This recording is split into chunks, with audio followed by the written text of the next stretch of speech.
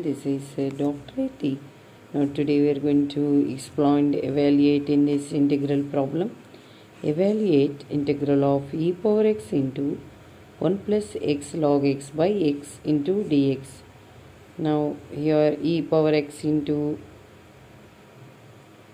right 1 by x x log x by x means x x gets cancelled plus log x into dx. Here suppose considered log x means f of x. Then go to differentiation of log x means 1 by x. Hmm, okay, uh, here applying the formula integral of e power x into f of x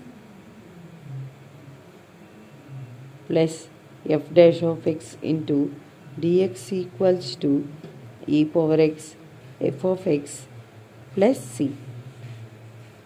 Here f of x equals to log x differentiating this 1 by x. So in this differentiation of log x here 1 by x is there. So applying this formula here write e power f of x means e power x log x plus c. This is the solution this evaluated integral problem. Okay, uh, thank you.